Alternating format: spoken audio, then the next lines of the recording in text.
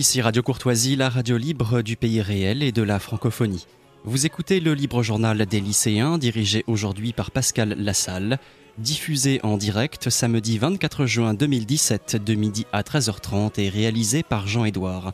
N'oubliez pas que Radio Courtoisie est une radio culturelle associative. Afin de sauvegarder une indépendance absolue, Radio Courtoisie refuse toute ressource publicitaire. Radio Courtoisie ne vit que grâce à ses auditeurs. Aidez-nous à demeurer libre, adhérez à notre association. Pour cette année, la cotisation minimum est de 40 euros. Envoyez votre chèque à Radio Courtoisie, 61 boulevard Murat, 75 016 Paris, ou réglez avec votre carte bancaire sur radiocourtoisie.fr.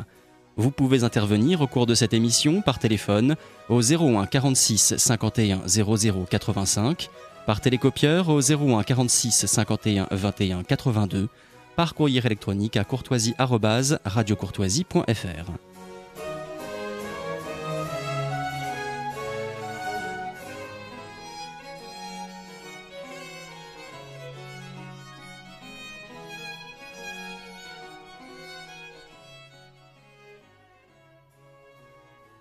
Bien, bonjour chers auditeurs, bienvenue à l'écoute de cette nouvelle édition du Libre Journal des lycéens dirigé aujourd'hui par Pascal Lassalle.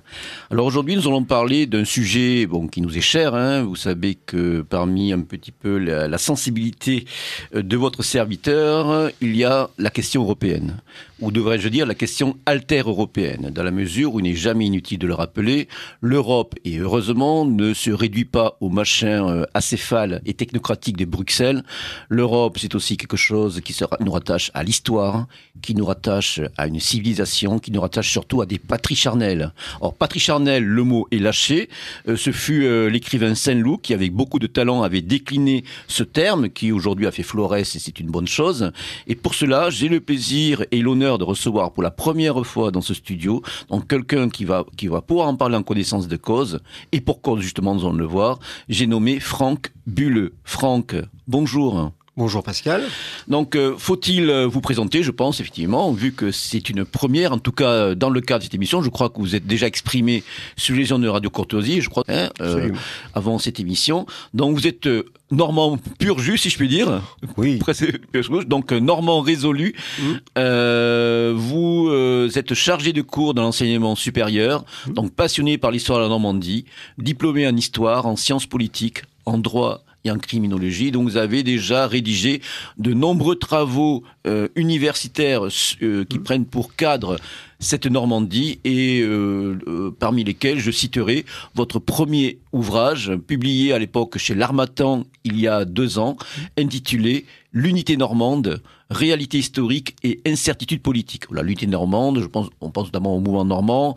On pourra penser à des figures euh, ô combien prestigieuses et attachantes comme notre cher Jean, mmh, j'ai nommé que, Jean Mabir, personnellement.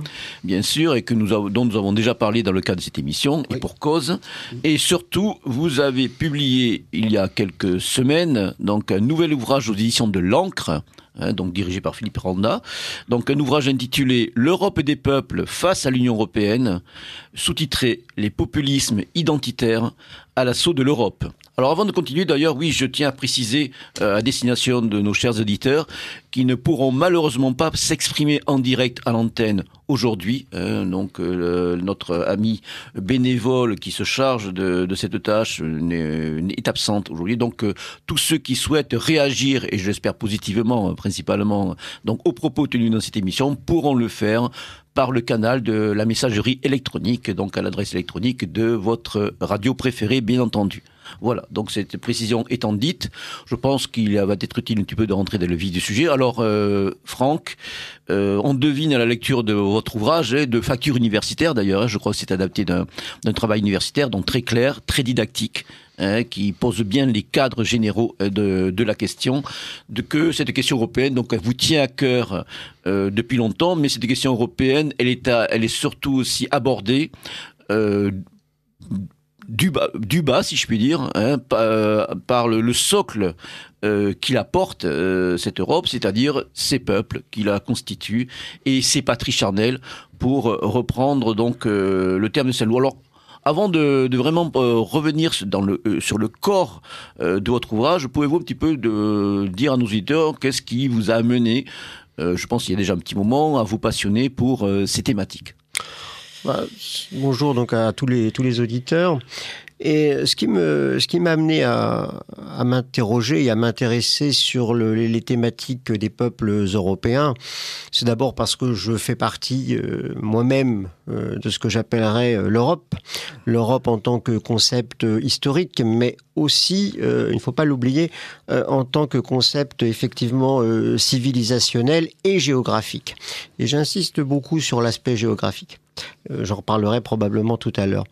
Euh, je fais partie d'un ce territoire normand, effectivement, euh, qui est le territoire le plus ancien.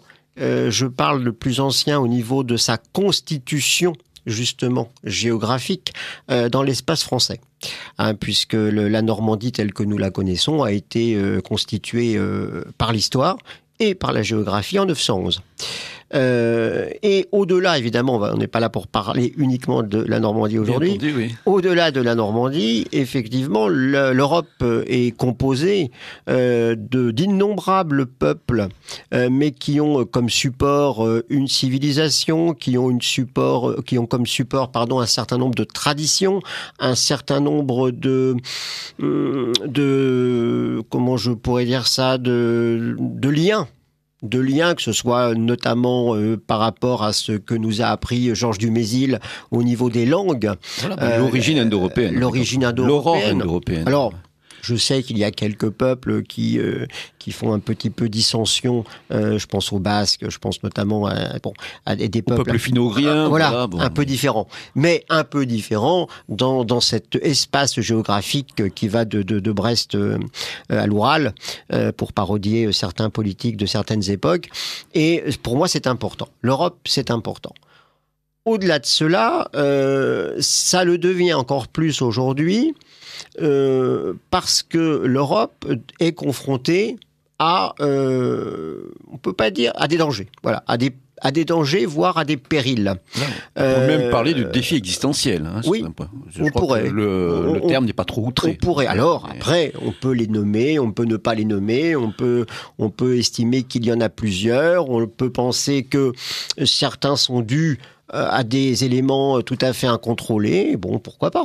Mais euh, le problème est que l'Europe est aujourd'hui en danger, en danger non pas dans son existence géographique, mais dans l'existence de la population qui va, qui existe sur son sol. de sa substance. Sa substance.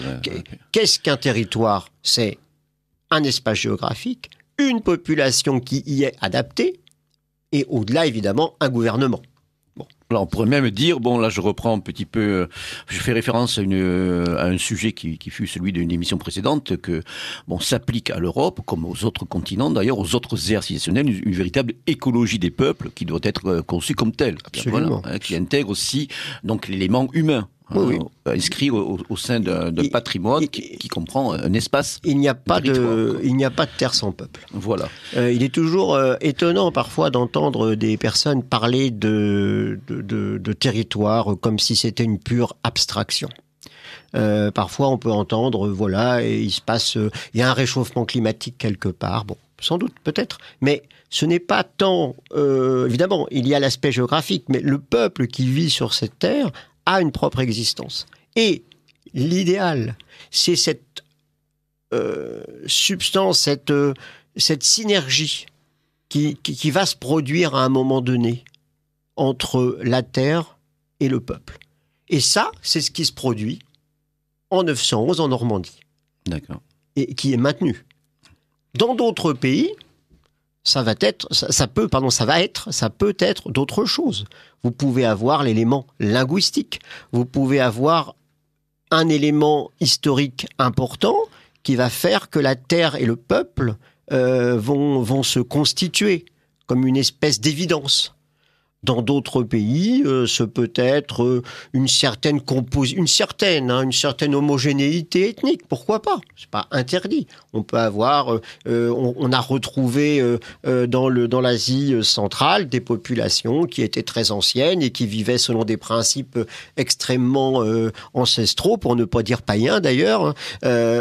voilà. Bon. Donc, à un moment donné, il va y avoir cette corrélation et qui va être maintenu et qui doit être maintenu. Parce que c'est ce qui va faire justement ce fil conducteur du temps, l'immémoriel. L'humain passe, mais ce qui compose l'humain par rapport à la Terre d'où il est issu est maintenu. Voilà. Alors, euh, votre ouvrage, bon, dans sa première partie assez généraliste, va, va tracer un petit peu les cadres euh, généraux bon, de ce qui est convenu d'appeler l'Union européenne. Institutionnelle. Voilà, institutionnelle, qui a été établie aussi pour, établir, pour euh, mettre en place une paix durable entre les peuples de notre continent. Il ne faut pas oublier, se sont déchirés mmh. euh, funestement au cours de deux grandes guerres civiles européennes au cours du XXe siècle. Donc ça, vous le rappelez justement. Donc vous tracez effectivement des, des cadres institutionnels précis.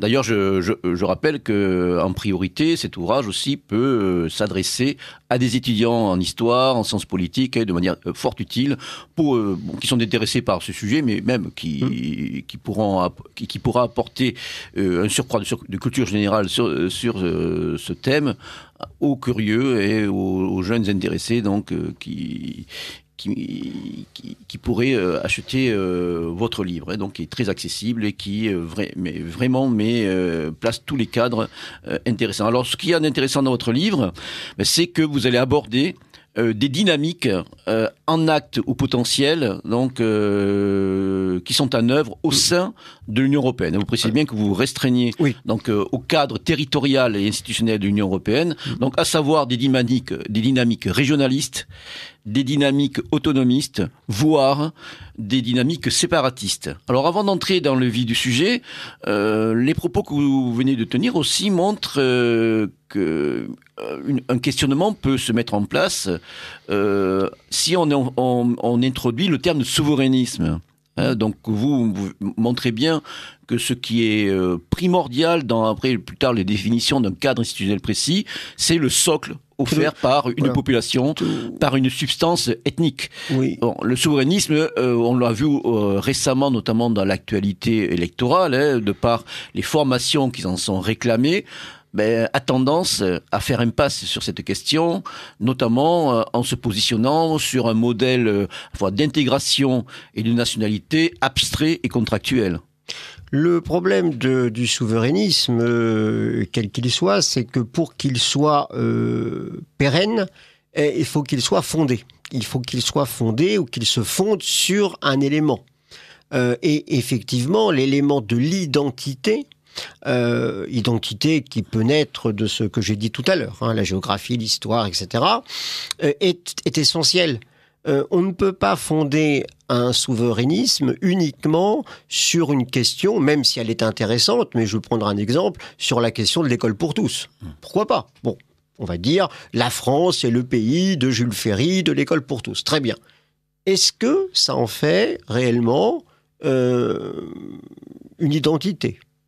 Ça fait effectivement que la France est, est, connue pour cela. Mais il va manquer dans, ce, dans cette espèce de souverainisme qu'on pourrait appeler euh, sou souverainisme chevènementisme.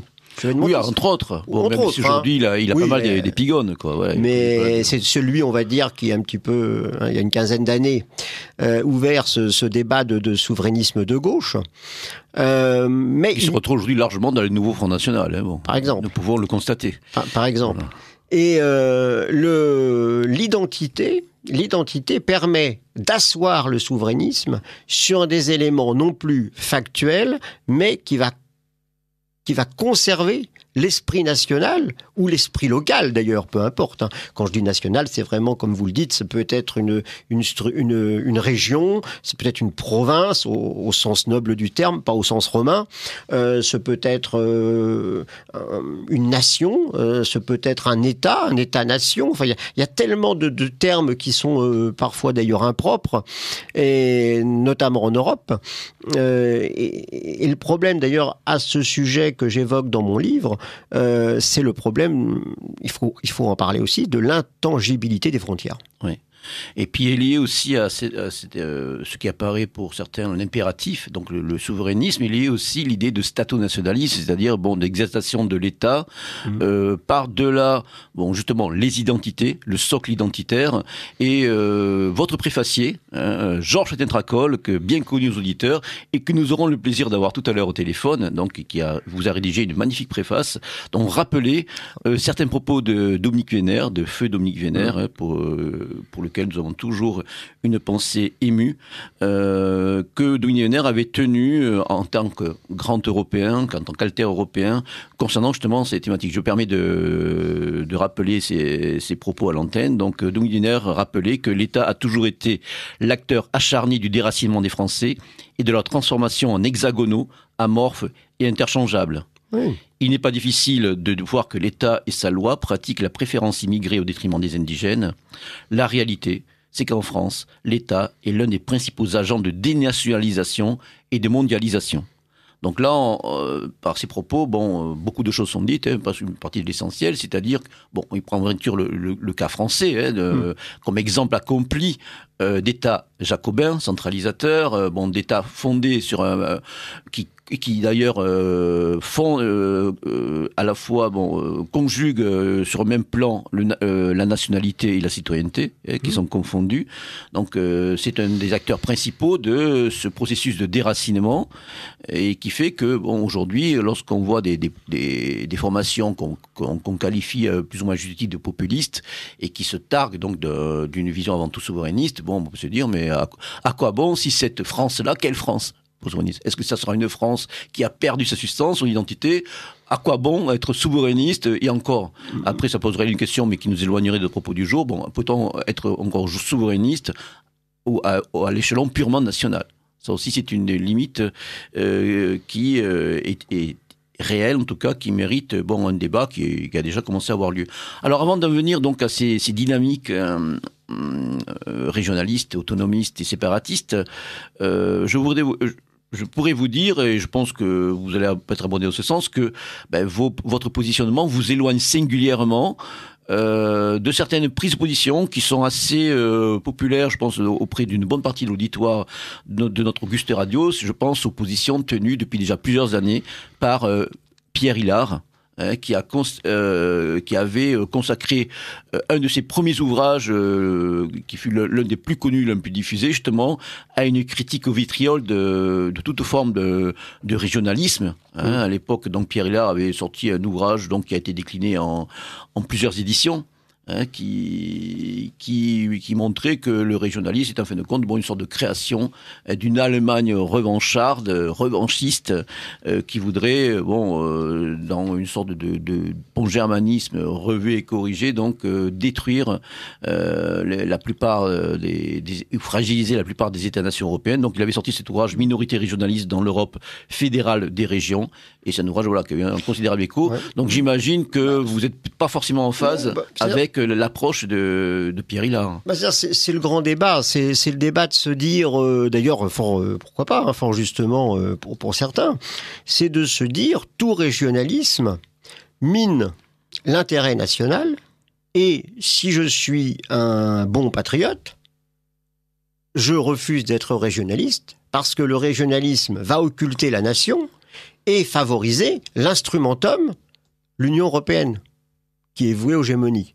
Voilà. Ou même favoriser des acteurs extérieurs à l'Europe. Nous pensons notamment aux États-Unis. Voilà. voilà donc tous les ennemis de l'Europe qui pourraient, voilà. Mais déjà l'Union européenne, déjà, euh, bon. Le, problème là, donc, euh, il faut distinguer, selon moi, euh, l'instrument des gens qui ont l'instrument à leur disposition. Là, je sais que ça peut effectivement choquer un certain nombre de, personnes. Et pourquoi pas C'est-à-dire, l'Union européenne, par définition, n'a même pas besoin de se poser. Elle existe, je l'ai dit tout à l'heure, c'est pour ça que je l'ai posé au préalable. L'Union européenne, c'est une existence euh, géographique. Comme vous l'avez rappelé tout à l'heure, et je vous cite, et j'abonde tout à fait dans vos propos, il y a eu deux guerres civiles européennes au XXe siècle. Bon, à partir de ce double constat, unité géographique, une volonté, enfin, et volonté civilisationnelle, et de l'autre côté, euh, deux guerres civiles européennes avec les dizaines de millions de morts et euh, le territoire euh, européen totalement exsangue, de la Normandie jusqu'à Dresde et ailleurs. Et on on ne peut pas dénuer tout intérêt à un espace qu'on va dénommer européen. Bon, ça c'est mon point de vue. Ensuite, à côté de cela, il faut effectivement distinguer l'esprit européen et l'Union européenne.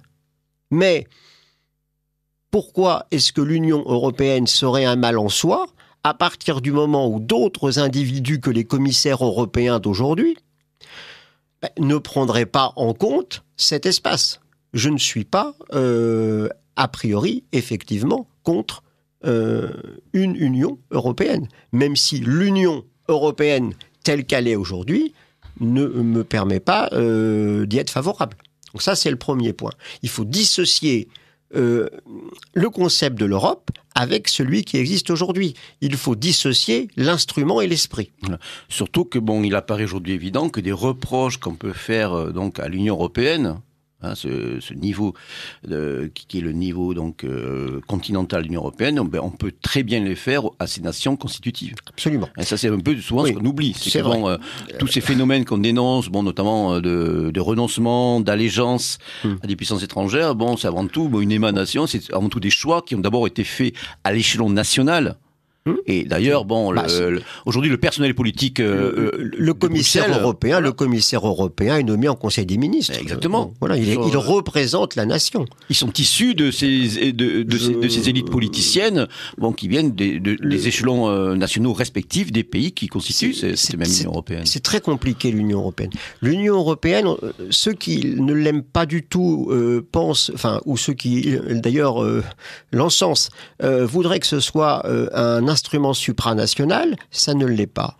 D'autres voudraient euh, que ce soit euh, simplement euh, une, addition d'États, ça ne l'est pas non plus.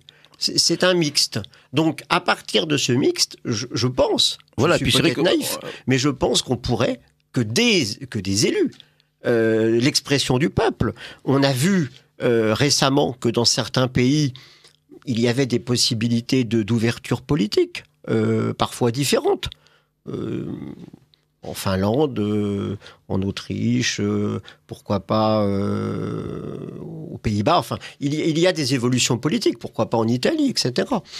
sur, différents, différents natures de, mouvements politiques. Et puis il y a aussi autre chose. Ce n'est pas parce que le régionalisme trouve un certain essor, voire l'autonomisme, que le pays national est en cause. Ça, c'est une réflexion franco-française. C'est parce que, et d'ailleurs, mon préfacier, comme vous le disiez, comme vous en parliez tout à l'heure, Georges Feltin Tracol euh, l'a très bien exprimé dans son livre L'esprit européen entre mémoire locale et volonté continentale. Un livre qui a été publié il y a quelques années déjà aux éditions de Hollande. Et il y a une certaine tendance en France à vouloir considérer la France comme étant l'Europe. C'est-à-dire qu'il y a un certain nombre de personnes, de droite comme de gauche, euh, euh, comme Zemmour par exemple, qui est un, bonapartiste convaincu, euh, qui vont dire la France est tellement au sud-ouest c'est l'Espagne, au sud-est c'est l'Italie, à l'est c'est l'Allemagne, au nord ce sont les, territoires celtes, que en fait la France c'est déjà tout. Oui, en fait c'est vrai que ce n'est pas totalement faux. C'est vrai qu'au niveau bon euh, ethnique et culturel, bon, la France est largement un résumé des principales donc euh, branches de l'européanité qui, qui, qui résume en tout cas l'Europe, même avec des éléments slaves issus de l'immigration polonaise et voire russe. C'est parce que hein, nous sommes une, extrémité de territoire. C'est ce que j'explique dans le livre. Nous sommes le Finistère européen. après, là où peut-être nous pouvons nous séparer de Zemmour, c'est qu'en fait, Zemmour va reprendre cette idée d'Europe française, que notamment la, la, la grande nation Hein, qui a été pérennisé d'une certaine manière par, par Bonaparte devenu Napoléon Ier, a voulu bon, diffuser. La France a voulu faire aussi l'Europe donc au début du XIe siècle. Bon, ça n'a pas toujours réussi. Il y avait des bases sûrement qui étaient discutables, avec une partie de l'héritage jacobin mmh. de la Révolution française. Donc effectivement, je pense que dans l'idée des Zemmour, c'est un petit peu ça. C'est l'Europe à la française, même si après il n'en reste pas moins que de facto, effectivement, on s'aperçoit que la France résume en grande partie Hein, donc l'Europe dans sa diversité. C'est le Finistère. Hein, voilà, d'une certaine manière, et, qui apparaît et, comme ça. Et, alors, évidemment, donc on ne peut pas réduire l'Europe à la France, comme on ne peut pas effectivement non plus mais ça c'est notre notre une certaine germanophobie euh, latente française. On ne peut pas non plus évidemment réduire l'Europe à l'Allemagne. Euh, il n'y a pas de complot euh, allemand. il y en a probablement d'ailleurs jamais eu euh, de, cette hégémonie allemande. Donc que euh, l'Allemagne d'Angela Merkel veuille peser de tout son poids, notamment sur le plan économique, parce qu'aujourd'hui, bon, l'Allemagne s'est réalisée euh, sur le plan économique, on lui, après qu'on lui a interdit, donc, bon, le, certaine manière, le politique pour des raisons consécutives bien sûr donc euh, à la Seconde Guerre mondiale. Donc mais de là bon à essayer de bah, voilà de, de, de, voir de percevoir une sorte de pongémanisme larvé. Bon, moi j'avoue que c'est pareil, c'est de la géographie. un peu sceptique. On revient encore à la géographie. Nous avons deux grandes nations, euh, la Mittel Europa, c'est-à-dire euh, l'Europe centrale, voilà l'Europe médiane. Voilà le, pays du territoire mhm. et le pays de la mer. Euh, pourquoi pas la France avec euh, la Méditerranée, l'Atlantique, la mer du Nord. D'ailleurs, à mon avis, on ne s'en sert pas assez, mais enfin, ça, c'est un autre débat. Donc, effectivement, mais ça, c'est de la géopolitique. Après, au-delà de ces deux, euh, ces deux, ces deux terres, de ces deux nations, il peut, il peut, et ça, ça reste mon point de vue, il peut exister à l'intérieur de ces nations, comme d'ailleurs au Royaume-Uni. Le Royaume-Uni, que nous dit-on, il est consacré de quatre nations. C'est ce, qui se dit, c'est ce, ce qui est. Quatre nations. En France, si vous dites il y a plusieurs nations, on va dire, on va vous ramener l'article premier de la Constitution, la France est unie, est indivisible. Ce que d'ailleurs, euh, notre ami Feltin Tracol, comme moi d'ailleurs dans mon ouvrage, bah, on dit pas tout à fait, parce qu'il y a déjà euh, un régime particulier pour la Corse, il y a un régime particulier pour la Nouvelle-Calédonie, pour la Polynésie. Je sais que la Polynésie et que la Nouvelle-Calédonie ne sont pas en Europe, mais comme elles sont françaises, par euh, définition, elles font partie quand même euh, des, régions ultra-périphériques. vous le rappelez d'ailleurs, au ouvrage, vous consacrez bah à tous ces, territoires extra-européens, mais qui sont rattachés d'une manière ou d'une autre, institutionnellement en tout cas, à l'Europe. Très amusant. Vous aussi du, cas du Groenland. Oui, c'est une hein, anecdote. Moi, ça m'amuse beaucoup parce que souvent, souvent, je pose une question à mon entourage, ou au-delà de mon entourage d'ailleurs, et, je dis, mais savez-vous que, que l'Europe a perdu la moitié de son territoire à un moment donné? Alors là, les gens vous regardent. Euh, alors, je parle pas de l'Algérie française, même si ça a été le cas, hein, mais bon, je veux pas ramener des, anciennes, anciennes histoires, mais le Groenland en 85, le Groenland, Groenland quitte euh, l'Union européenne sans quitter la couronne danoise. Voilà. Bon, c'est un, exemple, hein, c'est une anecdote du livre, mais c'est pour dire que l'Union européenne, c'est quand même beaucoup plus mouvant qu'on ne le pense. Aujourd'hui, nous avons au sein de certains États-nations des peuples euh, que j'aurais tendance aussi, pourquoi pas, à appeler nations, euh, même si elles pourraient être constitutives d'un État. Oui, une nation au sens strict. Une nation, là, liée à la naissance. elle est liée au sang, elle est liée à l'héritage, voilà. On, parle, on, parle, on parle d'États pluriethniques, eh bien, pourquoi pas d'États plurinationaux hum. Alors en tout cas, ce qui est intéressant, là, euh, je vais, je, vais euh, repréciser ça donc avant de, revenir bon à ces questions, à ces, ces régionalismes, ces séparatismes, hein, en essayant un petit peu de tracer bon un survol de de, ces différentes euh, dynamiques. Donc je crois que c'est intéressant ce qui ressort de vos propos et on vous rejoignez, on rejoignez totalement donc l'animateur de cette émission, c'est-à-dire qu'en fin de compte l'Union européenne bon, est un cadre, un cadre aujourd'hui qui serait peut-être fâcheux de mettre, euh, de faire éclater comme le veulent certains euh, souverainistes, bon, euh, ultra ultra hein, d'une certaine manière. Euh, c'est un peu la métaphore de l'avion. Hein. plutôt que d'abattre l'avion de l'Union européenne, mais il faut braquer le, poste de pilotage et lui donner une autre direction. C'est une bonne idée. Hein, donc en fait, ça, ça rejoint bon, notamment le positionnement de, de Gabriel Dinolfi que j'avais reçu ici même dans cette émission et du projet euh, et le think tank Europe qui, qui est le sien. Ah, je mets dans la pièce petit cochon pour, pour, pour le le tank. Euh, donc en fait, voilà, c'est l'idée que euh, aujourd'hui, euh, il est sûrement plus porteur et pertinent de faire pression au sein même du cadre de l'Union européenne. D'ailleurs, un cadre qu'on aurait bien du mal à reconstituer euh, si jamais celui venait d'éclater. On a mis des décennies à mettre en place différents mécanismes, différentes structures bah, qui sont pas toutes, négatives. Simplement, bon, c'est le c'est le personnel politique qu'il faut changer et c'est surtout la direction à initier. Et là, que vous traciez aussi euh, le, le, le, fait qu'il existe au sein même de cet espace de l'Union européenne euh, des, des sous-ensembles régionaux oui. Des aires bon, régionales bon, qui peuvent connaître certaines, d'ailleurs, euh, des, des, des, incarnations euh, institutionnelles. Mmh. Hein, bon, moi, je pense surtout actuellement euh, aux quatre de Visegrad, hein, aux quatre euh, pays de Visegrad donc, qui se rattachent à l'Europe médiane, à savoir dans la République tchèque, la Slovaquie, la Pologne et la Hongrie, et qui justement là jouent à fond le jeu des institutions européennes, essayant de, de mettre en place une masse critique qui vise bon à modifier euh, la, la, euh, la, politique de, Bruxelles sur le, des, questions euh, ben, hautement vitales, à savoir est-ce que nous devons réagir de manière énergique, bon, à ce qu'il faut bien nommer une invasion euh, pacifique, une invasion donc euh, lente de, de la part de flux migratoires qui pas tous, qui ne sont pas tous issus de réfugiés issus hein, des, des, zones moyennes, proches et moyen-orientales en guerre actuellement, on le voit.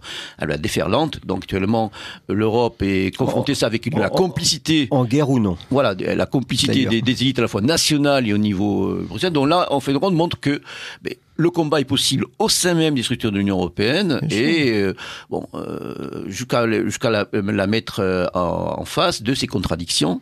Et d'ailleurs, le bras de fer euh, va sûrement se, se, durcir. On a vu les positions de, de, de, notre nouveau président qui veut justement donc euh, jouer un rôle significatif au sein même de, de, cette Union européenne. Donc il y a des dynamiques régionales qui sont en œuvre. D'autres essais aussi s'esquissent plus à l'est pour montrer aussi des alternatives. Je pense donc euh, au projet de l'Intermarium qui reprend un vieux projet donc euh, qui relie, qui relie qui se relie selon un axe Baltique-Mer Noire et qui s'étend sur la mer Adriatique qui avait été repris à l'époque par euh, Pilsudski, le maréchal Pilsudski euh, dans euh, le, la Pologne de l'entre-deux-guerres et qui aujourd'hui donc réactivé et ressuscité par euh, les, les néo-nationalistes ukrainiens donc qui ont fait déjà de congrès dans ce temps-là. En fait, je pour ça voilà, il y a des dynamiques régionales en œuvre alternatives. Et, et d'ailleurs, moi je vais, je vais, même aller plus loin, il y a même des dynamiques régionales alternatives avec lesquelles nous pouvons ne, nous pouvons ne pas être d'accord. Il y en a. Mais j'y suis intimement favorable, car c'est ce réveil des identités qui, après, peut faire évoluer le, le, le, sentiment des peuples. Mmh. Je prends des exemples tout à fait euh, que, que j'indique dans mon livre. Euh, il y a et, les auditeurs effectivement euh, peuvent, peuvent s'en émouvoir. Il y a dans les pays du Sud, je pense surtout à l'Espagne, une, une, une poussée des régionalismes qui est très forte, mais qui est euh, malheureusement. Porté par euh, des partis euh, extrêmement marxistes. Oui, mais post-marxistes. Voilà. D'ailleurs, votre préfacier, oh, bon, qui s'est exprimé tout à l'heure, donc le, le, le, signal dans, dans, son, dans son texte, mm. c'est une tradition aussi entre guillemets, hein, donc une tendance oui. qui n'est pas nouvelle. Une, euh, une, espèce nationale anticolonialiste. Voilà, il y a eu une, il y avait une gauchisation bon, des, des mouvements donc régionalistes dès la fin des années 60. On suivait un petit peu l'air du temps. Oui, c'est manière. Bon, les luttes de libération nationale, voilà, marxistes, etc. Le FLN. Voilà. Donc, les FLN. Mais c'est vrai qu'aujourd'hui, bon, d'ailleurs, c'est un des mérites de votre livre, c'est de montrer l'extrême diversité. Ah, voilà, c'est pour ça que je ne veux euh, pas. De ces partis, voilà. de ces mouvements régionalistes autonomistes, bon, qui aussi, selon le spectre politique, assez. Euh, je veux assez pas large. les, je veux pas Hein. les, je voulais pas enfermer. Justement, je, je veux pas enfermer l'esprit régionaliste. Et euh, ce que je me dis, c'est que de toute façon, même si euh, au sein euh, d'une nation euh, catalane, d'une nation basque, euh, il, y a, il y aura forcément une droite et une gauche. Donc, c'est euh, l'important pour moi, le fil conducteur, c'est l'identité. Et après, une fois que l'identité est, est, redevenue euh, ce qu'elle n'aurait jamais dû cesser d'être, eh bien, au sein de cette identité, il y a le marquage politique. Bien sûr. Et, et, les, et alors, les débats, les luttes à ce niveau-là. euh, mais bon. et ce que me disait toujours mon ami, euh, mon ami Pat du mouvement normand, puisque nous, nous en parlions tout à l'heure en off. Didier Pat, hein, Didier voilà. Pat. Donc, Euh, Didier Pat, euh, qui, je, qui je, je, salue là, bien, bien volontiers s'il m'écoute, euh, Didier Pat me disait toujours Je n'ai jamais voulu faire du mouvement normand un mouvement politique, politique au sens électoral, parce qu'il ne voulait pas diviser les Normands.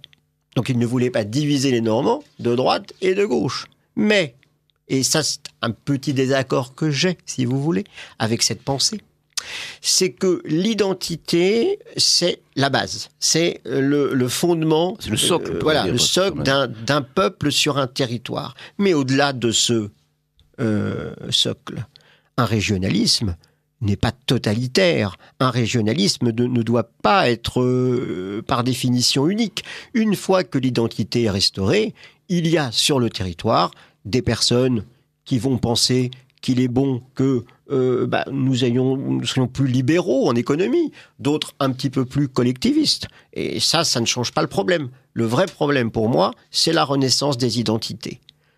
Au-delà de cela, nous le voyons au Parlement européen, je l'ai mis dans, je l'ai mis dans- dans mon livre, nous voyons un certain essaimage actuellement de euh, mouvements régionalistes qui ne s'appuient pas forcément sur des idées euh, de droite comme de gauche. Bon. Et c'est comme ça. Je veux dire, pour l'instant, il faut faire avec.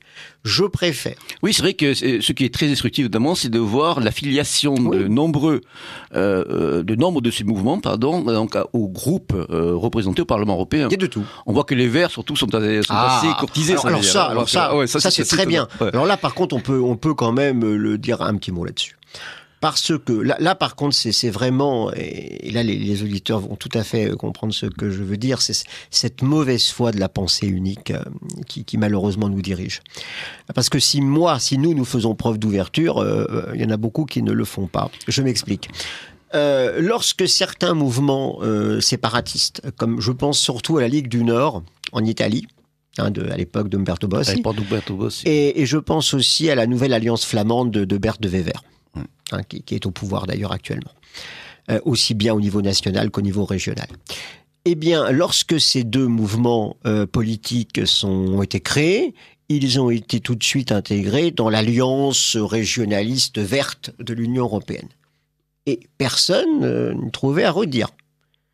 On disait, bah, ce sont des, des partis euh, qui, qui- qui aiment leur, euh, leur, leur pays, qui aiment leur nation, qui veulent développer leur, euh, leur- le peuple au sein de hein, ce que disait la CFDT dans les années 70, quoi, vivre et travailler au pays. Bon, très bien. et puis, tout d'un coup, dix ans après, eh bien, ces mouvements euh, vont rencontre des gens de la droite conservatrice, je pense surtout au NVA euh, flamand, voire euh, la droite euh, un petit peu plus euh, nationale, je pense à la Lega italienne. Alors là, au Resco Référence, on ne leur parle plus. Si vous êtes ami de Daniel Cohn-Bendit, on vous parle. Si vous êtes ami de Marine Le Pen, on ne vous parle plus. Pourquoi? Ils n'ont pas changé. La Lega est toujours, même si elle s'est un petit peu plus romanisée, il faut bien le dire, elle est quand même toujours soucieuse des intérêts de- de- des Italiens du Nord. Euh, la NVA est toujours très soucieuse des Flamands. Euh, tant, pis pour les Wallons, si j'ose dire, mais euh, ils n'ont pas changé. Ils, ont simplement, peut-être, même pas, j'allais dire modifié leur discours, non. Ils ont modifié, ils se sont ouverts à d'autres personnes. Vous savez, ça- enfin, je ne vais pas prendre d'autres exemples, parce qu'il y a d'autres exemples, mais ça nous éloignerait du régionalismes européens. Mais le, le- je trouve qu'il y a quand même, voyez-vous, une, une évolution du régionalisme européen euh, euh, vers la droite. Euh, même s'il reste beaucoup, euh, notamment en Espagne euh, et en Écosse aussi. un oui, avec le, Scottish National Party, le qui SNP, est ouais. traditionnellement, bon, social-démocrate. social-démocrate voilà, de, de centre-gauche, mais qui montre bien que, selon lui, l'identité n'est pas corrélée euh, à l'héritage. euh, Les deux. Simplement, voilà. a- deux, l'héritage et le devenir. Et le devenir, Euh, voilà. c'est- une- ce que, à mon avis d'ailleurs, vous savez, je crois que quelqu'un qui se sent bien dans un pays, ce qu'on pourrait appeler aujourd'hui l'assimilation, Oui. je parle vraiment d'assimilation, hein, je parle pas d'autre chose, euh, il peut, euh, il peut, même c'est même naturel, il il devient, il devient un composant, il devient une- un composant de, de, de cette nation. Oui. Et, bon, Oui, bon, après, ça dépend euh, jusqu'où on étend le processus d'assimilation et d'intégration. enfin, Vous là, savez, pour, euh, pour, euh, pour, des, pour des populations euh, de l'hémisphère sud, aimer l'Écosse, ça doit être quand même une grande révolution. Mais il y en a quand même. hein. Oui, voilà, c'est pour ça que je ça. Donc, de oui. communautés issues notamment du subcontinent indien, comme bon, dans, la, Mhm. dans le reste d'Angleterre, donc qui sont en Écosse et qui sont reconnues euh, comme, comme écossaises, en tout cas par euh, les, les cadres, lois, du, les cadres, oui. les cadres du, parti euh, national écossais, bon, nationaliste écossais. Donc voilà, là, Mais bon, après, le- ça, ça pose un Voilà, problème de ça pose un, problème jusqu'où on porte le, le, le, le cur- le curseur de l'identité. Exactement. Mais, mais le SNP est un excellent exemple, en tout cas, de, de, de l'avenir. Parce qu'aujourd'hui, pour parler du Royaume-Uni, on voit donc, même si c'est compliqué, ça fait un an que le Brexit a été euh, décidé par le, le peuple euh, britannique. Et ce qu'on va voir, à mon avis, au, fil du temps, c'est le départ évidemment de, de- du Royaume- du Royaume-Uni de l'Union, et puis le retour concomitant euh, dans l'Union de l'Écosse. Bien, mais on en profite là pour faire euh, donc un petit signalement. hein. Je vous rappelle que vous êtes toujours à l'écoute de Radio Courtoisie, du libre journal des lycéens dirigé aujourd'hui par Pascal Lassalle, qui a l'immense plaisir et honneur de recevoir Franck Bulleux, qui est, l'auteur d'un ouvrage paru récemment intitulé L'Europe des peuples face à l'Union européenne, sous-titré Les populismes identitaires à l'assaut de l'Europe, préfacé par Georges de Tracol, que nous allons bientôt avoir au téléphone. Alors, deux réactions d'auditeurs qui sont manifestées par courrier électronique. Première, euh, premier courrier. Bonjour, êtes-vous favorable au rattachement du département des Pyrénées-Orientales à une Catalogne indépendante dans le cadre de l'Union européenne Si on garde le, principe de l'intangibilité des frontières, euh, qui est quand même une base de droit international, plutôt, euh, j'y serais quand même plutôt défavorable. Bon, euh, Vous ne serez pas le seul, je pense. Bon, en tout cas, à oui, Paris, ça risque. hein, ça je pense que- Je pense que les découpages euh, de départements, bon, on pourrait dire également la même chose pour le Pays Basque, on pourrait dire également. euh, euh, il y, a, il y a plein, plein de, de marqueurs qui, qui sont possibles. Regardez l'exemple du Kosovo. Enfin, c'est un autre débat, Voilà. mais bon. Mais d'ailleurs, oui, pour, pour- mais, oui. mais pour en- enfin, pour tout ce qui est vraiment de définition de territoire d'État en État, d'État à État, pardon, je suis pour les négociations interétatiques. Euh, sans parler des Pyrénées-Orientales, il y a des débats sur Bolzano, euh, dont je parle dans mon livre, entre l'Italie et l'Allemagne. Euh, il, il y a eu des débats également importants sur des, des petites républiques euh, dont les noms m'échappent, mais qui existent actuellement. Donc, le problème de l'Europe, vous voyez, euh, ça nous renvoie peut-être dans des, dans des années sombres. Le problème de l'Europe, c'est que si on commence effectivement à, à, ouvrir les débats, eh bien, c'est le risque. Voilà. Donc, c'est la raison pour laquelle je reviens à l'origine de mon livre. Le régionalisme, oui, mais euh, il faut quand même avoir un esprit de concorde. Et quand je dis de concorde, je ne parle plus ici de concorde nationale, mais vraiment de concorde continentale. D'ailleurs, euh, dans cet ordre d'idée, vous précisez aussi dans votre livre qu'il existe des synergies euh, transnationales dans le cadre de Oui. l'Union européenne, donc Oui. ces fameuses euro-régions, Mm. que signale aussi votre préfacier, et dans laquelle pourrait s'inscrire justement bon, Ah des liens naturels hein, Là, entre. Perpignan, entre la Catalogne Nord, et bon, le, Bah, comme la le généralité. Comme encore- avec les Basques. Voilà, exactement. Hein, les- J'étais au Pays Basque l'année dernière au mois d'août. euh, J'ai bien, j'ai bien constaté que la signalisation euh, des commerçants comme des, panneaux était euh, extrêmement basse, c'est ce qui m'a réjoui. D'accord. Alors, deuxième euh, courrier qui, nous- parvient, bon, sur un mode un peu véhément, l'auditeur n'est pas vraiment très satisfait de- des propos qui sont tenus dans cette émission. Je les prends rapidement. Pourquoi nous bouchez-vous l'horizon? Tiens. La question régionale ne commence pas avec la lutte jacobine contre le peuple, et les peuples, comme disaient les rois, elle a été traitée tout à l'inverse par mille années capétiennes. Lis pas un mot. Ah oui. Non, mais là c'est le c'est le débat euh, Ah. monarchie-république. C'est tout à fait euh, bon. euh, De toute façon, Ça, on peut pas, voilà, L'Europe, tout aborder tous les, les là, thématiques là, moi, je ne suis, je ne suis opposé à rien. Voilà. Vous avez une partie de l'Europe euh, qui est euh, sous la monarchie, sous des monarchies. Vous avez une autre partie de l'Europe qui est sous des républiques. Quelle différence cela fait-il? Moi, je ne, je ne rentre pas euh, dans, dans ce débat, euh, dans le sens où, très honnêtement, je pense qu'une une bonne monarchie est meilleure qu'une république, une bonne république est meilleure qu'une mauvaise monarchie. Je, je ne suis pas un républicain forcené et je ne suis pas du tout Voilà, en anti-monarchiste. tout cas, notre auditeur regrette que certains débats qui sont que, connexes n'aient pas été bon. Le- Ah, faut bah. lui rappeler quand même qu'il y a un sujet principal du jour Oui. et que bon, cette émission à un, temps limité. Alors, deuxième remarque qui rentre dans cette logique, les guerres civiles européennes sont le fait des subvertifs jacobins bonapartistes qui ont étendu à toute l'Europe les idéaux formalistes des Lumières, dont la mise en œuvre a commencé dans la terreur et dans le sang français et a continué dans le sang européen. Pas un mot. Mais oui, pas un mot. Euh, c'est pas le sujet du jour, même bah. si nous en convenons largement. Nous, l'avons sous-entendu. Voilà, Il me semble que j'ai parlé de Bonaparte, j'ai parlé également des guerres civiles comme vous, européennes. Euh, nous, ne sommes pas là pour euh, étudier les causes parce que c'est pas le but. Nous travaillons uniquement, et c'est peut-être insuffisant, je l'accorde à l'auditeur, mais nous travaillons uniquement sur les conséquences.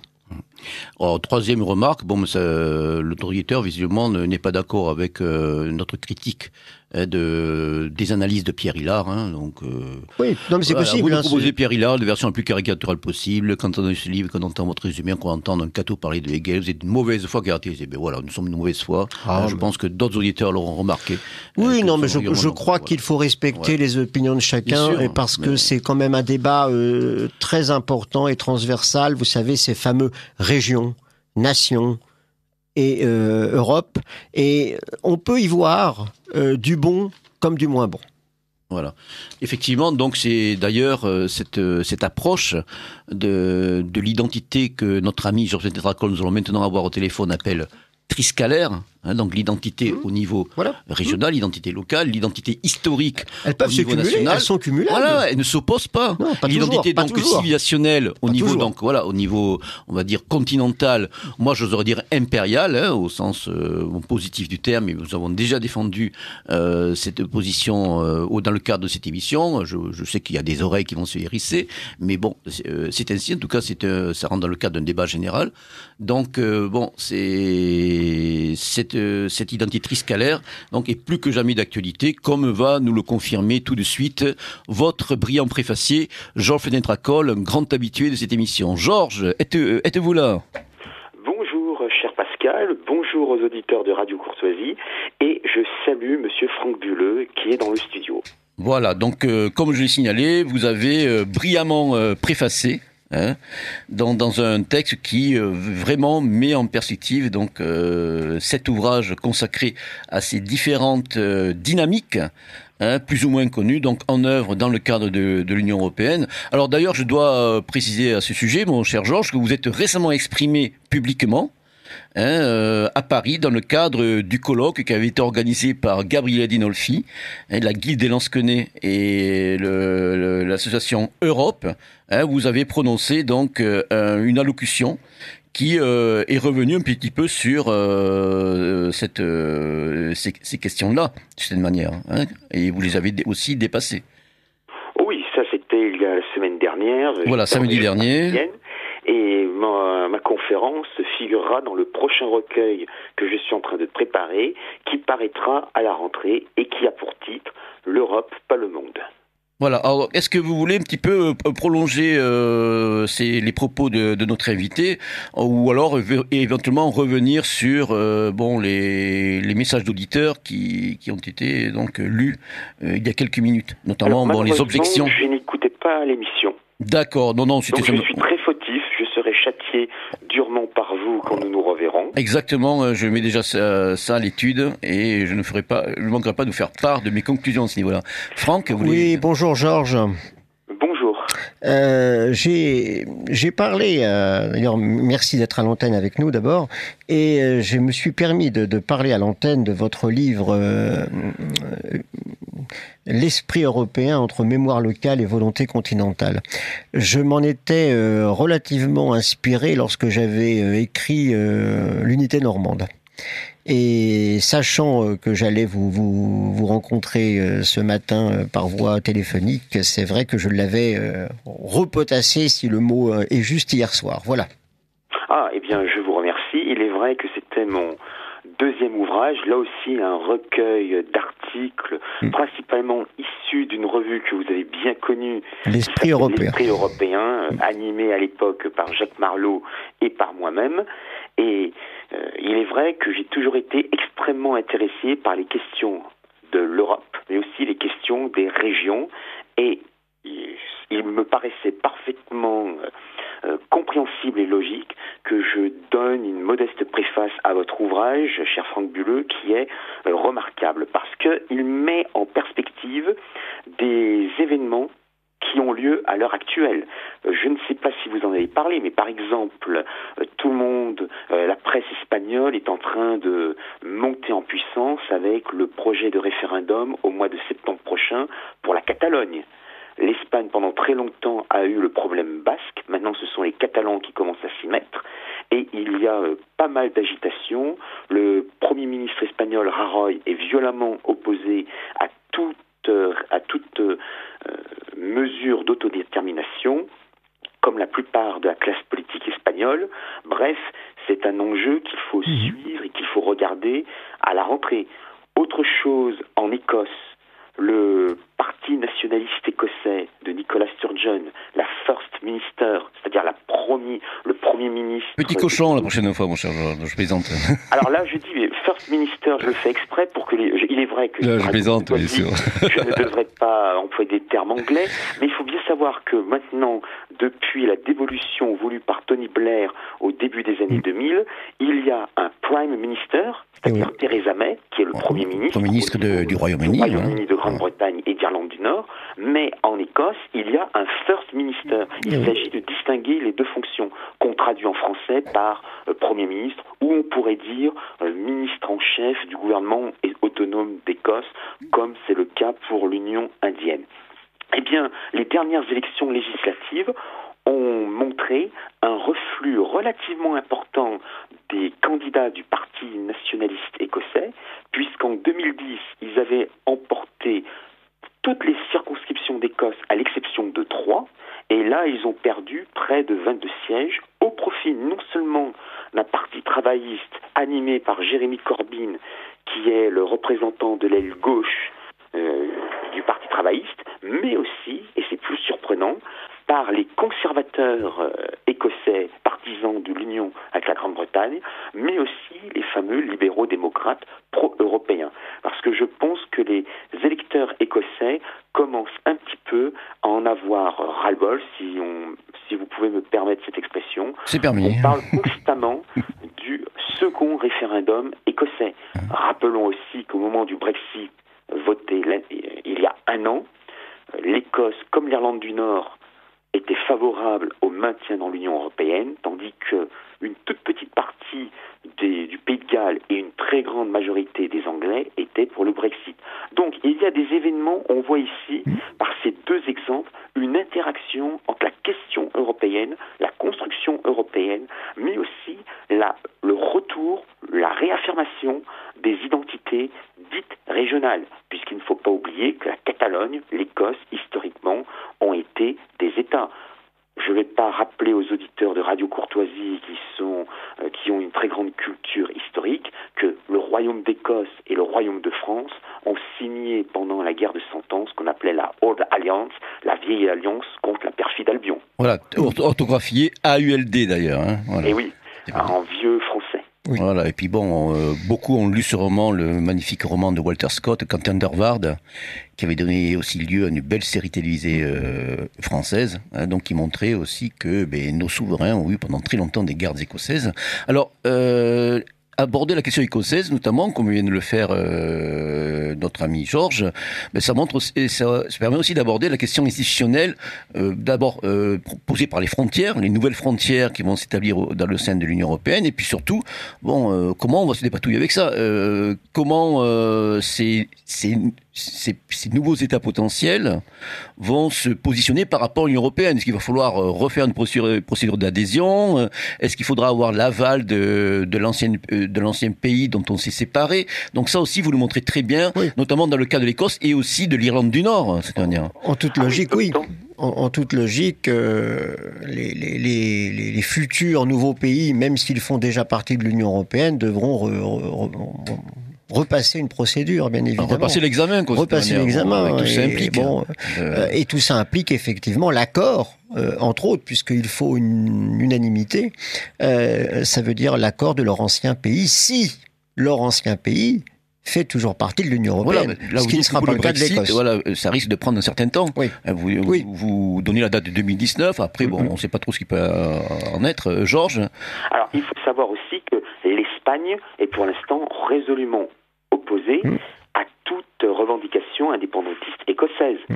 Et on peut très bien imaginer que l'actuel gouvernement minoritaire conservateur espagnol de Mariano Rajoy euh, mette son veto dans l'hypothèse que je crois de moins en moins possible d'une indépendance de l'Écosse.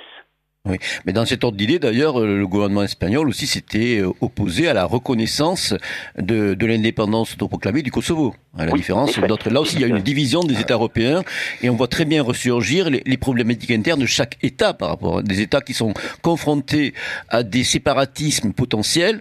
En général, et, euh, se sont montrés hostiles à la reconnaissance justement de l'entité kosovare aujourd'hui.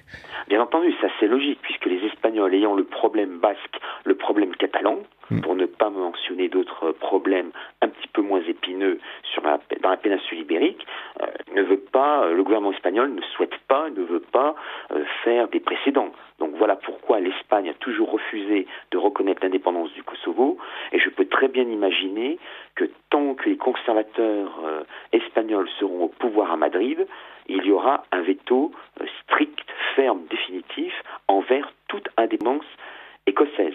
Pour l'Irlande du Nord, ça me paraît un tout petit peu plus euh, euh, particulier. Alors non seulement le parti euh, nord-irlandais, le DUP, c'est-à-dire les unionistes protestants, apportent un soutien désormais avec leurs dix députés à la Chambre des communes envers le gouvernement minoritaire conservateur de Theresa May, mais il faut savoir que ces unionistes au niveau local ont longtemps gouverné depuis les accords du Vendredi Saint de 1998 avec les indépendantistes républicains d'une Sinn Féin. Et actuellement, il y a des négociations qui achoppent sur plusieurs points entre le Sinn Féin et les, les unionistes, en sachant que les unionistes, et c'est là où les choses sont assez complexes, sont pour le rattachement de l'Irlande du Nord envers euh, le Royaume-Uni, ce qui est assez possible. Ils sont hostiles au Brexit, mais d'un point de vue plus concret, ils sont hostiles à la réactivation de la frontière entre l'Irlande du Nord et la République d'Irlande, parce qu'ils ont très bien compris. Et c'est ça qui est le problème, effectivement, qui est posé par cette... Donc ils voudraient être à la fois à l'intérieur, à l'extérieur, euh, un pied dedans, un pied dehors, le troisième pied au plafond, bref, c'est assez... Euh, Mais on voit plusieurs impératifs qui se télescopent, en fait. Un impératif identitaire, hein, qui était le, bon, celui qui, qui était la raison d'être de ces unionistes, hein, donc, euh, qui ont toujours voulu, de manière véhémente et affirmée, d'en rester au sein de, du Royaume-Uni. Et ensuite, bon, des réalités économiques, des réalités institutionnelles, hein, des réalités qui renvoient à la vie pratique, notamment bon, cette, cette libre circulation des biens, des, des, personnes et des flux euh, financiers entre l'Irlande, euh, la République d'Irlande et euh, l'Irlande du Nord, de cette manière. Oui, d'autant que les Nord-Irlandais ont eu des élections anticipées au printemps, où pendant très longtemps le DUP était le parti très largement majoritaire, et là maintenant il n'a plus qu'un seul député d'avance sur le Sinn Féin, puisque euh, la logique démographique est en train de l'emporter en Irlande du Nord, la communauté catholique est en passe de devenir majoritaire dans cette euh, partie du Royaume-Uni de Grande-Bretagne. Et on peut très bien imaginer, et d'ailleurs au lendemain du Brexit il y a un an, le Sinn Féin avait immédiatement proposé, demandé, exigé un référendum sur l'Union, que l'Irlande du Nord puisse intégrer la République d'Irlande, puis dans la constitution de la République d'Irlande, il est prévu, un peu comme pour les lenders de l'ancienne RDA au sujet de l'Allemagne, que les euh, comtés nord-irlandais peuvent intégrer euh, la République d'Irlande. Et là, je pense que ça serait beaucoup plus jouable, puisqu'on aurait, disons, une sorte de répétition de la fameuse intégration de l'ex-RDA dans le cadre de la RFA. Oui. Tout, en sachant que euh, ces points... Ce sera automatique, là. Voilà. Ces points institutionnels, comme le précise très bien Franck dans son ouvrage, avaient été plus ou moins amendés, sous réserve, bien sûr, hein, d'un référendum ou alors d'une autre mode de, de, décision favorable euh, dans le sens de cette décision concernant les Nord-Irlandais. Bien entendu, puisqu'il voilà. y a aussi énormément de clauses constitutionnelles, aussi bien dans le cadre du Royaume-Uni que dans le cadre de la République d'Irlande, et puis aussi dans le cadre de l'Union européenne. Car il faut savoir aussi que le Brexit provoque un immense bouleversement constitutionnel. La dévolution voulue par Tony Blair au début des années 2000 au sujet de l'Écosse, mais aussi du Pays de Galles, puisque le Pays de Galles connaît un système de gouvernement autonome un tout peu moins développée que l'Écosse. Et puis, dans le cadre de l'Irlande du Nord, tous ces trois exemples de dévolution se réfèrent explicitement au texte européen. Donc, si la Grande-Bretagne quitte l'Union européenne, que va-t-il se passer? Voilà pourquoi le gouvernement euh, écossais est vent debout euh, contre des négociations d'un Brexit D'une manière générale, euh, Georges et Franck, il n'y a pas aussi un paradoxe à voir que ben, ces, ces, tendances, ces, désirs de, séparation, de séparatisme, d'indépendance, souvent apparaissent dans des régions, dans des provinces qui ont souvent un statut d'autonomie exemplaire. Hein, en Europe, hein, euh, que ce soit pour les Basques, soit pour les Catalans. On pourrait citer, même s'ils ne sont pas directement euh, concernés par, par, ces tendances, euh, les, les, Tyroliens du Sud germanophones, hein, de, de, la région italienne, du Trentino Alto Adige et du Trentino Adige. Mmh. Bah, je pense que, au contraire, dans le sens où si, ce, si ces régions ont déjà obtenu euh, un certain statut d'autonomie, c'est parce qu'elles l'ont déjà revendiqué. Euh, au-delà de cela, euh, effectivement, les, les, les, mouvements jacobins et les États jacobins soutiennent le, la, comment dire, le, le, thème adverse en disant, bah, évidemment, si on donne de l'autonomie à une certaine région ou à un certain pays, il va en demander un petit peu plus. Hein. C'est la théorie de si on donne un, un, un, morceau de bras, on va le prendre le, le, bras tout entier. Bon, je pense que je vois, par exemple, euh, par rapport à la France, nous avons la, la région Corse où effectivement. Euh, ah, là, il y a eu, bon, notamment les dernières élections. Trois députés. ont montré aussi un mouvement autonomiste, on va dire, ou nationaliste, comme on veut, euh, sur sur quatre. mais le l'autonomie qui a été, qui a commencé à être octroyée en 1982 par Gaston Defer, était quand même la résultante de toute une histoire corse et évidemment des événements sanglants de, des années 70. Ah, de la lutte armée, voilà. Aléria. Ouais, ouais, tout à fait. Donc non, c'est une. De toute façon, on ne, on ne revendique pas ce qu'on ne ressent pas. Euh, si une terre, si un peuple, si une région euh, commence à se, à se ressentir ce qu'il est ou à être ce qu'il est, euh, l'État central en tiendra compte à un moment donné. Évidemment, plus l'État et notre État a la particularité d'être jacobin, euh, pour être une région euh, au sens région française, euh, il faut que ses habitants soient vraiment revendicatifs. Hein, comme les Corses. Je voyais, une petite anecdote, euh, un candidat Unzerland au deuxième tour, au second tour d'une élection, de l'élection législative la semaine dernière en Alsace. Bah, j'ai trouvé ça étonnamment agréable. Voilà. Avant d'obtenir une, une, réponse de Georges sur cette question, je vais faire une très rapide petite pause pour que nous passions en bobino. Dimanche 25 juin, à Paris, fête de la courtoisie. À l'espace Champéret, dimanche 25 juin, de 11h à 19h, venez à la rencontre de toute l'équipe de Radio Courtoisie, de ses patrons d'émission et de ses collaborateurs, qui vous invitent à partager ce moment d'intelligence et d'amitié. Vous retrouverez les écrivains qui se sont exprimés à Radio Courtoisie, ils vous dédicaceront leurs œuvres. Venez compléter votre bibliothèque, venez acheter d'irremplaçables cadeaux, offrez des livres dédicacés. Causerie avec Jean-Paul Gourevitch à 11h30 sur le thème Immigration, état des lieux, avec Jacques Trémollet de Villers à 17h sur le thème Sainte Jeanne d'Arc, porteuse d'espérance. À 14h, remise du prix Grand-Duc de la réinformation. Retenez, dimanche 25 juin, fête de la courtoisie, espace Champéret, 1 place de la porte de Champéret, Paris 17e, accès par la rue Jean Estrécher, métro porte de Champéret. Entrée 5 euros. Gratuit sur présentation de la carte d'auditeur ou du reçu de cotisation et pour les personnes de moins de 26 ans. Bien, chers auditeurs, je vous rappelle que vous êtes à l'écoute du Libre Journal de Pascal Lassalle, hein, qui a le plaisir de recevoir aujourd'hui euh, Franck Bulleux, donc auteur de L'Europe des peuples face à l'Union européenne, les populismes identitaires à l'assaut de l'Europe aux éditions de l'encre, et son brillant préfacier, Georges Petentracol, bien connu donc euh, de nos auditeurs réguliers, hein, qui est essayiste et directeur du site Europe Maxima, co-animateur de la revue Réfléchir Agir et collaborateur aussi de très nombreuses revues, notamment Synthèse Nationale, bien entendu. Là aussi encore bien connu de nos auditeurs. Alors mon cher Georges, euh, une réaction sur euh, les, les, propos donc que nous avons avancés précédemment quand même attention ne de euh, s'enthousiasmer pour tous les mouvements régionalistes en Europe puisque la plupart des mouvements régionalistes, et ça c'est une constante depuis 1945, sont plutôt de gauche et sont souvent multiculturalistes ou cosmopolites. Il ne faut pas euh, l'oublier, il ne faut pas non plus le nier. Le cas par exemple des, des autonomistes alsaciens ou bien du, de la Ligue du Nord en Padanie sont des cas très particuliers.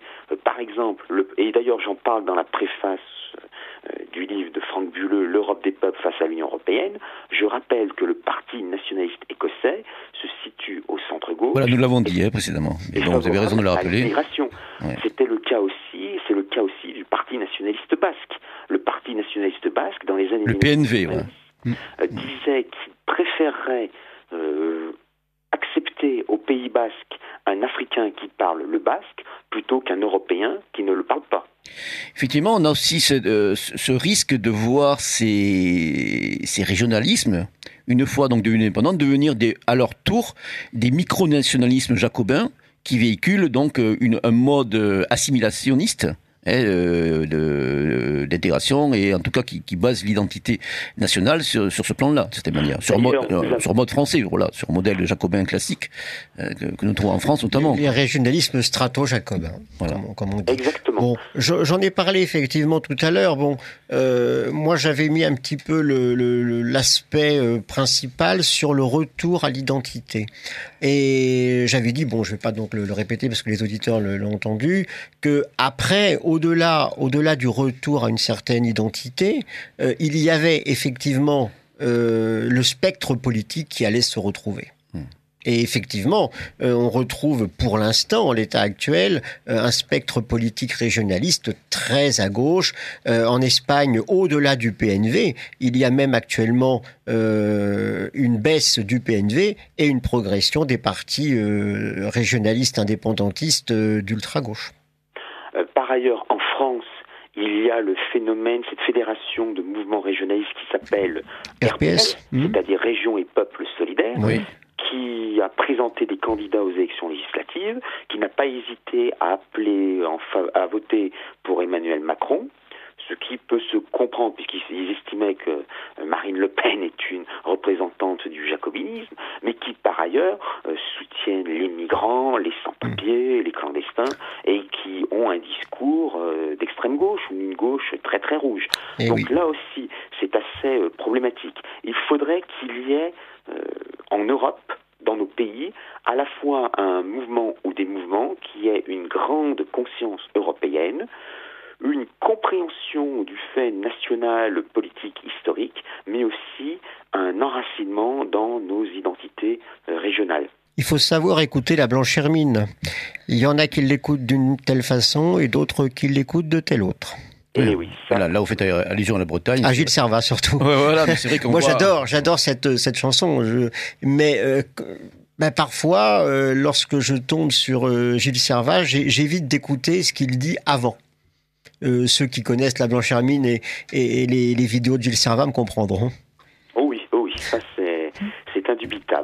Mais c'est vrai que euh, la Bretagne est l'exemple bon, d'une province euh, ô combien attachante, qui a longtemps été un pays, un pays indépendant, une véritable nation, bon, où en fin de compte, bon, les, les idées, la vision dominante est, est une vision de gauche, hein, pour, pour, le qualifier ainsi. et pourtant, il y a de très belles revues. Hein. Voilà. On, peut, on peut saluer, euh, s'il nous écoute, euh, Atsao, euh, voilà. Patrick Montosier, ou Patrick voilà. Montosier avec Warhawk. Voilà, Atsao, bien sûr, les nationalistes bretons, bon, mm. qui restent malheureusement bon, ultra minoritaires, et c'est vrai qu'on on l'a vu aussi donc avec les dernières élections, bon, on a quand même bon, euh, des positionnements de gauche ou centre-gauche qui sont largement dominants un petit peu dans, dans la population bretonne. Oui, mais euh, disons qu'il faut quand même essayer de maintenir ce que je disais tout à l'heure, cet aspect culturel apolitique, même si cet apolitisme est plutôt de gauche, euh, car il permet quand même de garder un certain euh, un, enfin, un ferment, un ferment identitaire.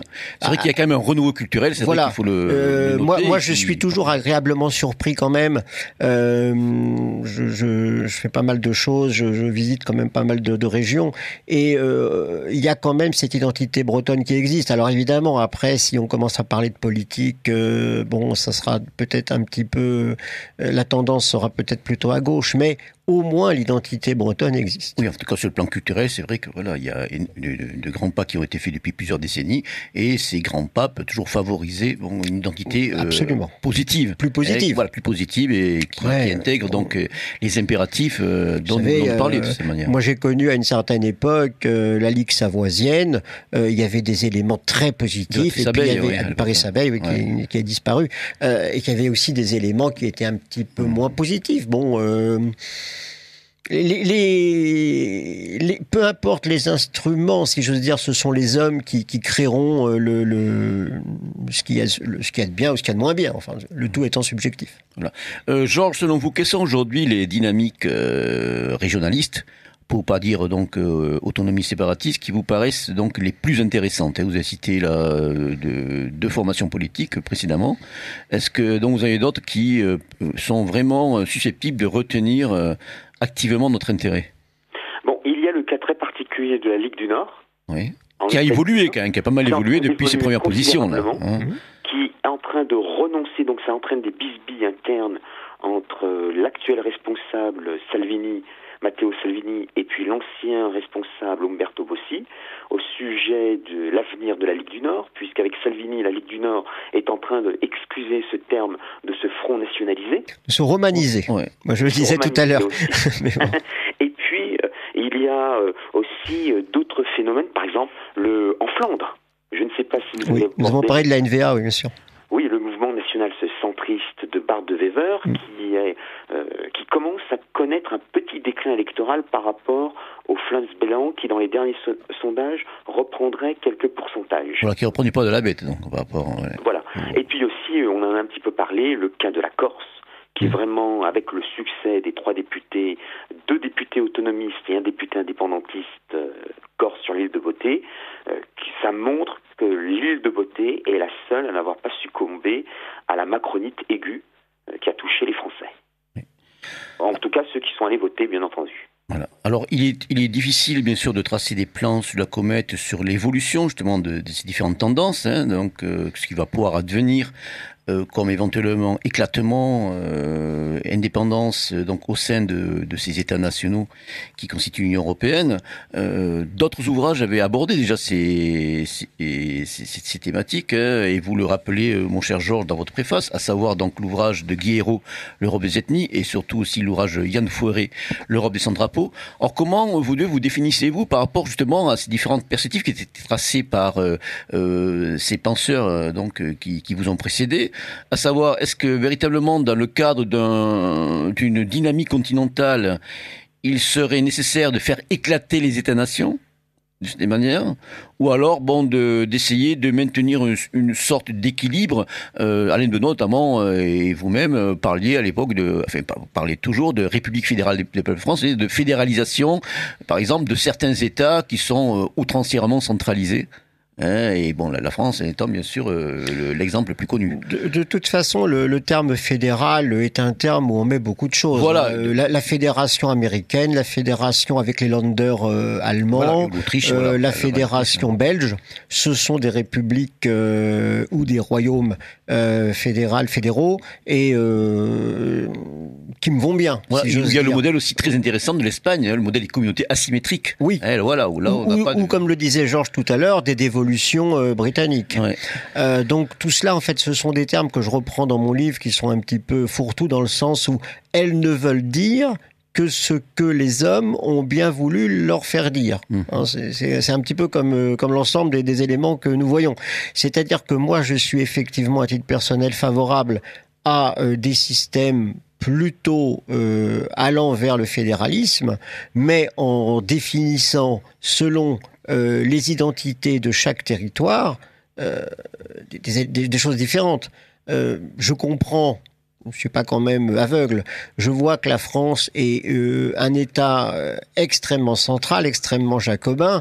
C'est quand même la France, c'est quand même un pays où pendant des années on va vous dire vous faites partie de la région centre Ah bon? Et on est quoi Des centristes, des centraux des, Non mais voilà, mais tout le monde s'en fiche. Je veux dire, personne n'écrit, même dans un journal euh, euh, en Eure-et-Loire ou dans l'Indre-et-Loire, mais euh, on, est quoi Nous, on est du centre? Bon ben voilà, on est, on est du centre. Bon, pareil, il y a d'ailleurs pour Rhône-Alpes, hein, même si c'est un peu moins flagrant. Bon, maintenant tout ça, ça a changé de nom, je sais, mais je veux dire, on donne des grands tests, hein, les Hauts-de-France les Hauts-de-France, c'est quand même le, le, le, territoire le, le moins euh, escarpé de France, le plus bas géographiquement. bon, voilà. Donc, si vous voulez, je, je, comprends que la France ne soit pas du tout attachée, euh, malheureusement, euh, à quelques, bon, mis à part euh, la Corse, la Bretagne, un petit peu l'Alsace. Je l'ai, je l'ai dit à une, un entretien que j'ai donné à une excellente revue québécoise, Arfan, il y a un peu plus d'un an, où j'avais listé les résultats électoraux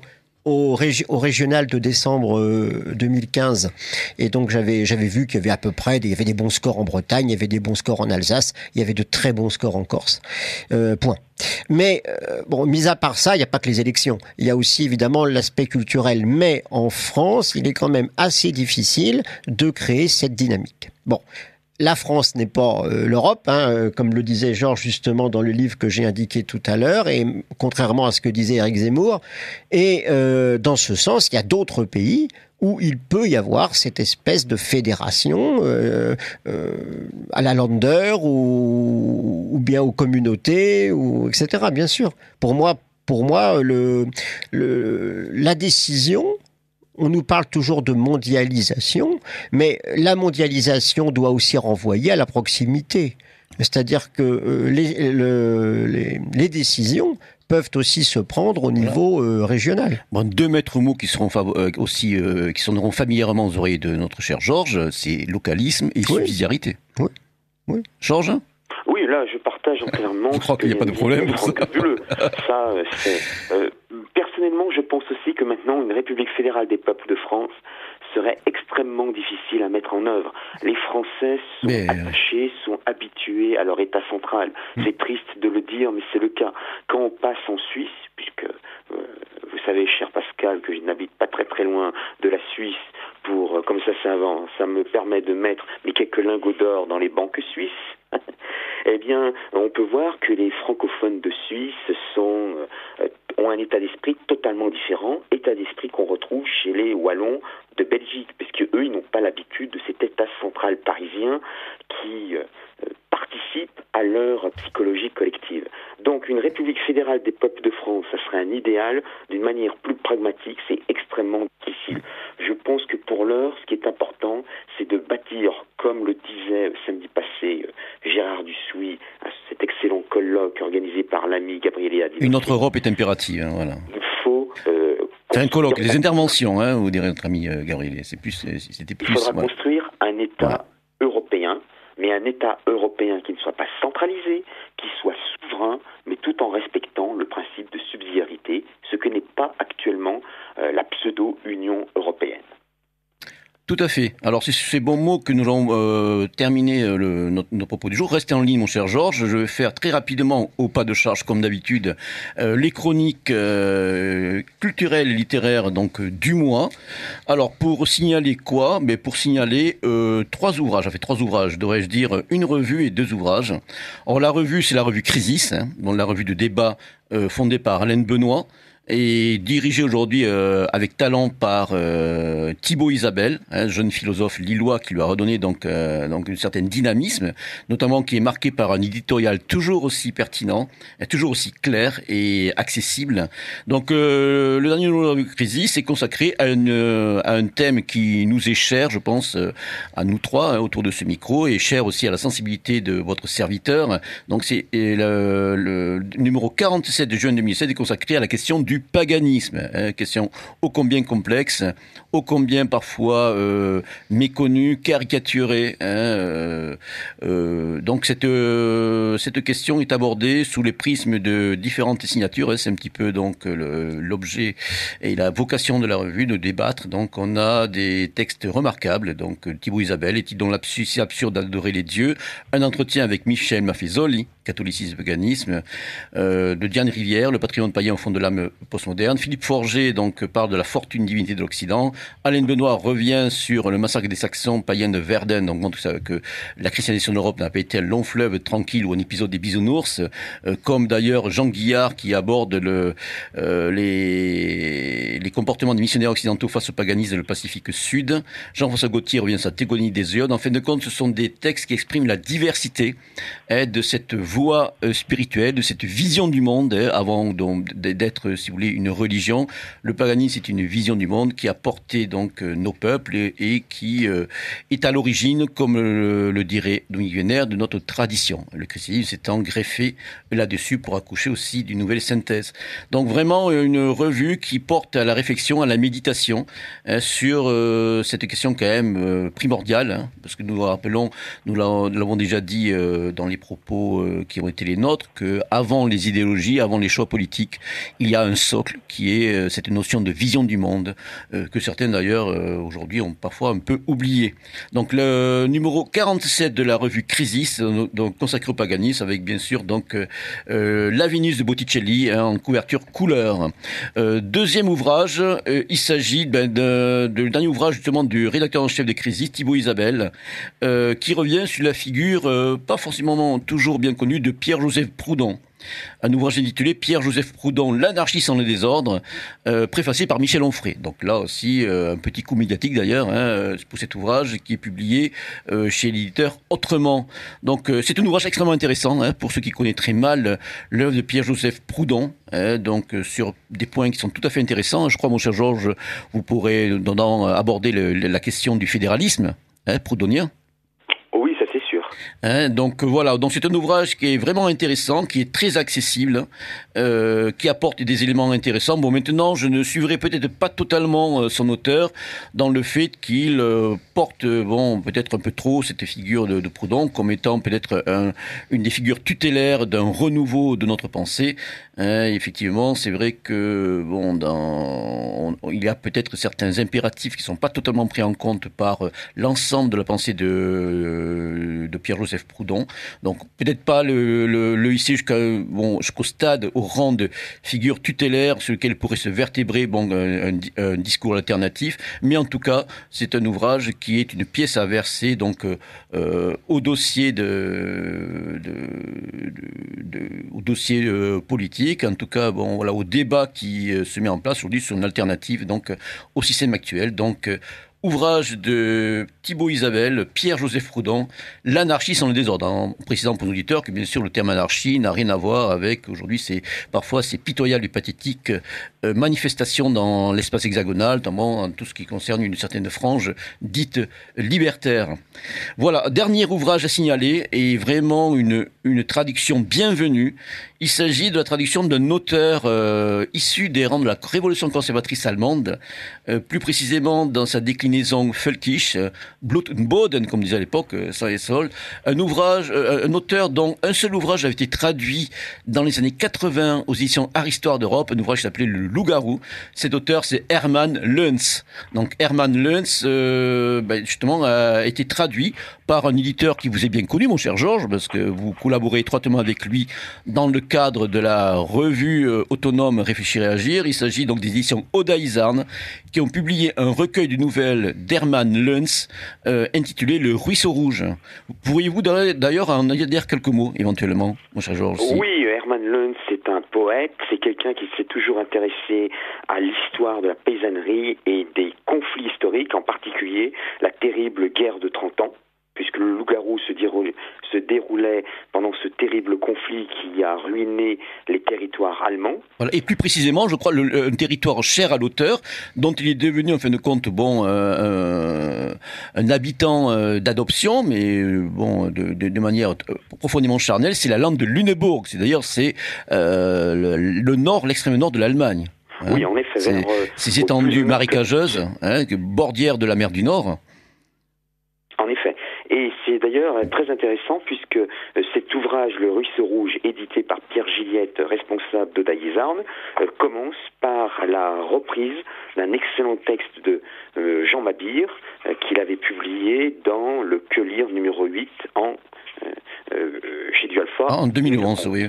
Ouais, cette formidable encyclopédie littéraire qu'une fois de plus nous recommandons vivement à nos auditeurs. Hein. Donc Jean Mabir, effectivement, s'était penché sur le, le, cas de Hermann Luns, mais c'est vrai que c'est aussi la redécouverte d'une autre Allemagne Hein, bien différente aujourd'hui de, de, l'excroissance merkelienne, hein, donc, euh, qui, qui, montre justement bon, un désir euh, presque forcené d'oblitérer toute forme de mémoire nationale, d'enracinement euh, national. Donc Hermann Leuss, lui, fait vraiment l'antithèse c'est-à-dire vraiment euh, l'ouvrage de le, poète de la glèbe, le poète du Heimat, hein, comme disent nos amis allemands, et c'est vraiment donc euh, méritoire. Et on nous félicitons Pierre Gilliette pour cette heureuse initiative, euh, signalant aussi que c'est comme toujours chez Odaizan, donc l'édition est extrêmement soignée, avec une belle couverture inédite de l'artiste européen Auric et des couvertures à rabat et un prix contenu, hein, 14 euros. Donc véritablement pour se plonger dans cet univers euh, qui nous est cher, hein, celui de la révolution conservatrice allemande et de sa guerre mondiale. Pardon? Les textes sont parus avant la Première Guerre mondiale, ce qui a toute son importance. Voilà, oui, parce qu'Hermann Neuss a été tué sur le front. Oui. Hein. Mais bon, voilà, globalement, il s'inscrit dans ce vaste courant hein, polymorphe, qui est aujourd'hui donc une des de nos sources de référence pour euh, déterminer des éléments de révision du monde. Donc, euh, bon, euh, dans, la, dans, lignée du travail colossal qui avait été entrepris, par Armin Moller, l'ancien secrétaire d'Ernst Junger, et de nombreux travaux qui ont été publiés en français, heureusement. Donc, concernant cette vaste sphère à la fois politique et littéraire. Donc, je rappelle le titre de l'ouvrage et son auteur, donc Hermann Luns, L-O avec un umlaut, avec un tréma NS, le ruisseau rouge chez Odaizan, et je crois, mon cher Georges, qu'on peut se procurer sur le site hein, de la revue Réfléchir agir.